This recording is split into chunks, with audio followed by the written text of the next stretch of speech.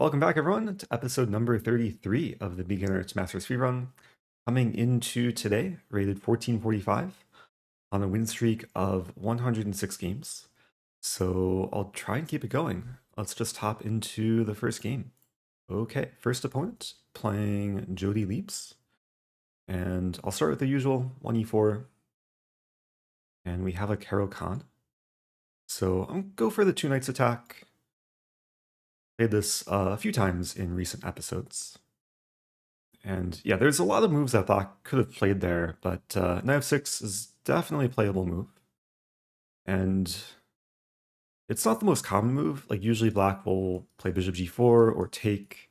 But with knight f6, this does give me the chance to expand and attack the knight. And the knight just retreats. Okay, so that's probably a good sign. Um, as far as I know, the main move is knight e4, and there is some theory there. But with knight g8, I think I'm happy to play d4, grab some space. Now we see bishop to g4. So I do have some early lead in development, a bit happier of a, a center. I'm kind of deciding here between h3 or just leaving the bishop here and developing but I think h3 kind of makes sense just to question the bishop. If takes, I'm happy to take back with the queen. So we'll see what black wants to do here. Bishop h5. Now, definitely have some options here. I mean, g4 is a consideration, just to keep expanding, kick the bishop back. Uh, there's another move that comes to mind sure if I want to play it, but that move is e6. With the idea that, I mean, if it's black to move, black is likely wanting to play e6 and develop and maybe play c5. And if I play pawn e6 myself, it would be a pawn sacrifice, but if takes, then this pawn is blocked on e7. Bishop would then have a harder time getting out. So it's an interesting gambit idea. Um, kind of hard to calculate though, because here takes, and then, I mean, what's my follow up? Maybe then g4. Maybe I could play g4 and then e6. Choices, choices. I do feel like white should play in a more aggressive manner here, simply because I have more space and more development uh, maybe it makes sense to like first play g4 and then e6 to sack the pawn. A nice thing also about e6 is I clear the e5 square for the knight. So I'm going to go for it. I'll start with g4. And generally, you do have to be careful expanding the kingside pawns. But uh, I haven't castled yet, so maybe I'll eventually castle queenside. And yeah, I'm going to play e6 here. And this is more of a positional pawn sacrifice. Like usually when you sacrifice pawns or pieces, it's generally for tactical reasons. But I mean, the positional benefits for white is um, in black has a hard time developing, and I have now the half open e file. These pawns are really ugly. I can start with knight e5, maybe right away. Yeah, let's go for it. Now I have ideas of taking and then bishop to d3. So we'll see what black wants to do in response. Black plays knight d7, so trying to challenge this knight. And now if I take and then take and then bishop d3, how does black actually defend the g6 pawn? Let's go for it. I mean, I did move my knight a bunch of times to trade it off, but I think it's justified. Black now has two sets of double pawns. And there's not too many moves to avoid getting mated here. I mean, there's king f7. At king f7, I have queen f3. One of the knights would have to block, and then I have pawn g5 to win the knight. Rook h6, it's an attempt, but then I can just take. So I think the aggression is paying off here. Another option for black is maybe to move the queen and then create some room for the king to escape. But if I can take on g6 and take away black's castling rights, I won't even be down a pawn. I'll have a great position. Black uh, does move the queen. So I think I can just go ahead and take and then decide what to do. And definitely still takes work. It's equal material now. And the center is closed, so it's uh, not like I'm going to be getting to the king anytime soon. Although maybe there's the idea of queen f3, and then I, I could potentially checkmate the king in three more moves. Queen f3, it has a other benefit of supporting bishop f4, maybe getting ready to queenside castle. So I'm calculating this, and then in black maybe has e5 there. And then I don't want to take because knight takes and attacks and attacks, also covers f7. Oh, wait a minute. No, then I win the bishop. So queen f3, e5 takes. There is queen takes. Maybe it gets a bit murky. So there's also queen f3, e5, queen f7 threatening checkmate. And then whatever knight moves to f6, let's say knight gf6, I have pawn g5. And for a moment, it looks like my queen is getting stuck, but if the knight moves, I'll be mating. Yeah, let's go for queen f3. I'm trying to keep my foot on the gas pedal. And there's definitely some complicated and spicy lines that can happen from here. But it's nice having just more development. I think there's a bit more harmony with white's pieces, and black is still very underdeveloped. Especially this bishop, it's going to have a very hard time getting out soon, with these pawns not moving soon. So e5, I'll still have to choose between taking or queen f7. But I think queen f7 is just more direct. Threatening the mate. Okay, so knight h6 does cover f7. But it also allows takes. And then whatever takes back, I can still maybe go in. I guess there's a calculation takes, takes, queen f7, knight f6. Oh, but then I take on e6. I should also note here I have the move pawn g5, which maybe would provoke this or this. And f5 I win the pawn. So I think I just have to choose what to do. Um, I like uh, taking the knight though. I think this is the most forcing. And I've taken a lot of time so far, so makes sense to try and simplify. Yeah, now I think I'll be winning a pawn. Threatening mate, threatening the pawn.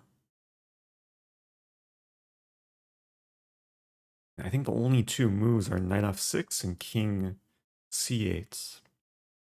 King c8 would allow for queen e8, queen d8. So the king runs and I can probably just take the pawn. King does run.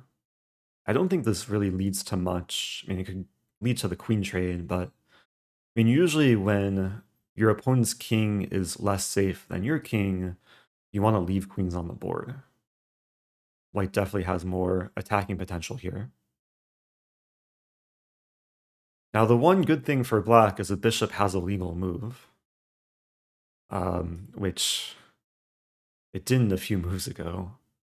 But if black plays this, leaves e7 undefended.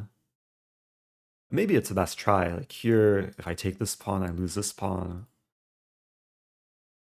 So I think if black plays this, I'm maybe more likely to castle queenside.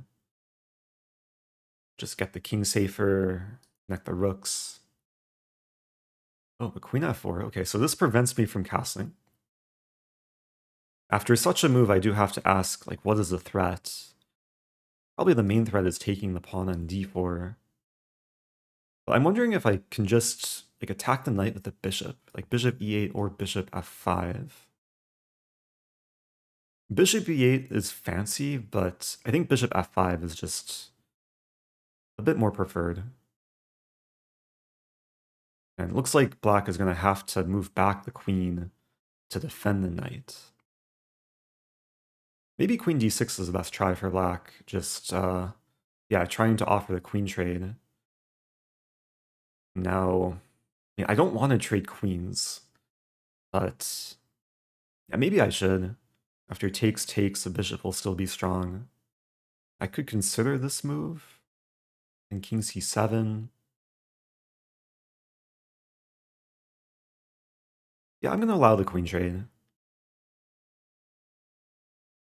I'm up a pawn, and if takes takes, and black is still underdeveloped as as we approach the endgame. I'll probably look to expand my kingside pawn majority.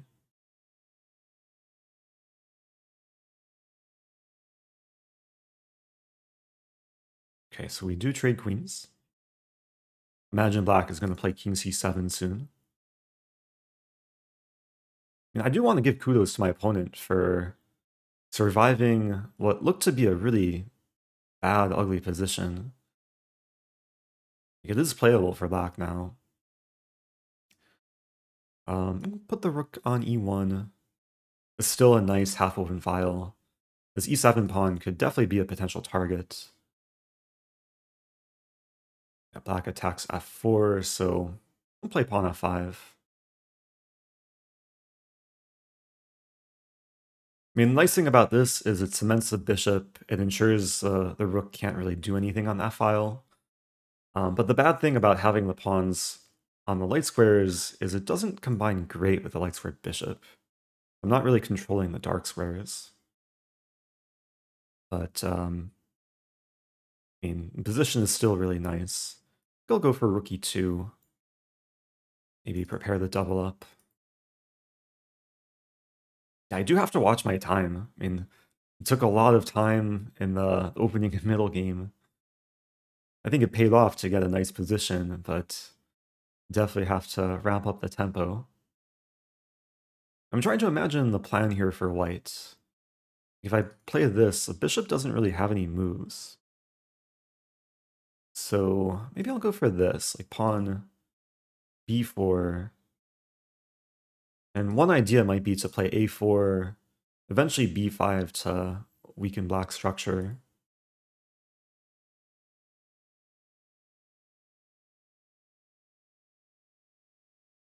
Another idea might be to maneuver to c5 with a knight.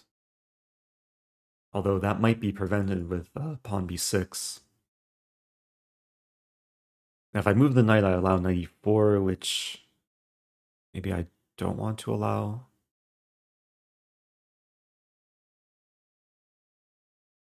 So we're both getting lower on time. I mean, it's not easy for black to find productive play here. Um, okay, maybe now, I mean, now if I play this, there's knight e4 and then knight c5. Yeah, let's go for that. on c3, the knight really wasn't doing much.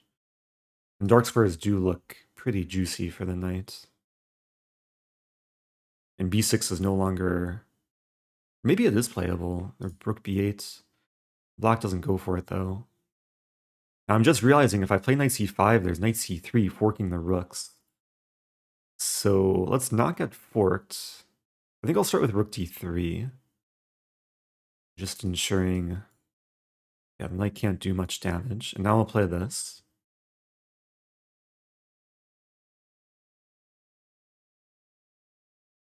And this attacks a knight. And if black takes, I probably take back with a b pawn.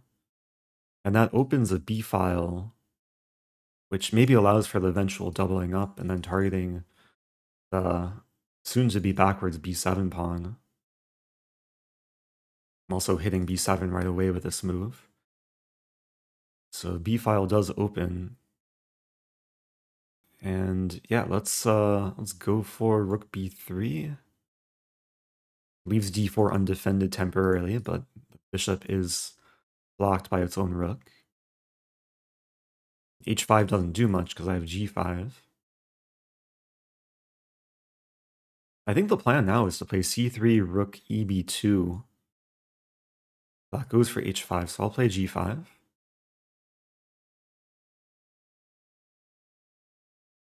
I think h5 was maybe a, a bit counterproductive for black. This allows me to expand further. I'll play pawn h4, just cementing the structure. Oh, wait a minute, I just hung a pawn though. Oops. Well, maybe it was productive for black. And now this pawn is weak. Knight sack. Take and then take. Probably not. I was getting... Okay, I have an idea. I'm gonna play... I'm gonna play pawn c3.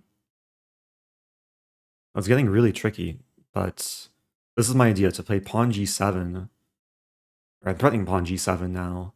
The bishop can't come back to defend. And now I can take. So that's a good transformation. And now let's move the rook to e6. And this rook probably wants to get back towards the center.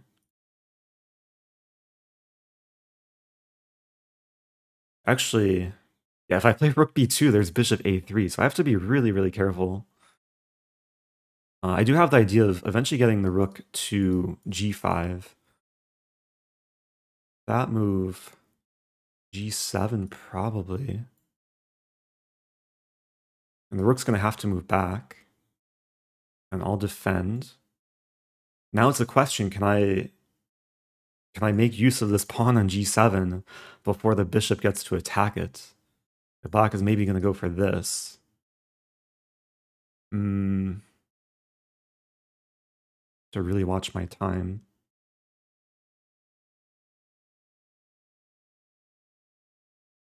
Okay, now I, I get the pin on the G file. I have less than 25 seconds. There's no increment. I'm going to win the bishop.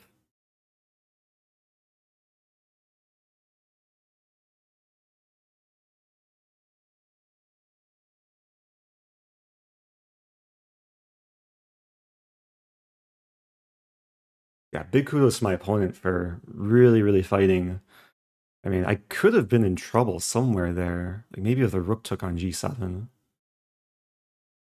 But now it looks like I'm going to win the bishop. There's a question, can I win the position with a time situation? Which I think I should be able to. I'll take the rook. Um, I don't care about bishop takes rook because then I, I simplify. I'll make a queen. I can pre-move. Black trying to push the h-pawn. Let's check. Take with check. Check again. I'm just going to go straight for the kill. Looks like I'm mating next move. Yeah. Okay. All right. That was a close one. Man, 51 moves. My opponent defended really well. Like, was really resilient. I probably was in trouble at some point, especially after blundering my d4 pawn. Uh, let's definitely take a look. And we'll start with the opening. Um, that's probably the closest I've come to losing in this whole speed run. Uh, yeah, I got really, really low on time. So my opponent went for knight f6, which, uh, I mean, it's a move, but usually when white plays e5, black should play this move, um, offering the trade in knights. And then if takes takes, this is uh, very fine for black. Knight gets hit. So what I would have done here was uh, kind of a strange move, knight e2. And the idea is I avoid the knight trade and prepare pawn d3. Uh, and there's cases where the knight could be trapped. And then I think the main line from here goes queen b6 threatening mate. I'd have to play pawn d4, and then eventually knight g3, and life goes on. So of course that didn't happen. Opponent retreated the knight, and yeah, let's see what the engine thinks of this idea on e6. I mean, it's really not the the conventional way of playing, but because my opponent lost time moving the knight back and forth and moved the bishop a bunch, I think sometimes it's justified to just be very aggressive and less materialistic, uh, especially with e6 kind of hampering black's, especially kingside development in, in this position. But I clearly didn't follow through in the best fashion. I took on g6, which was fine. I I won the g pawn. I think black uh, made a good decision running with the king this way. And then after queen f3, knight h6 takes. I mean, white's still much better here. Take on e6. Yeah, all of this was fine. Oh, one thing I didn't consider, but maybe I should have, was um, instead of leaving my queen here, I could have just traded immediately.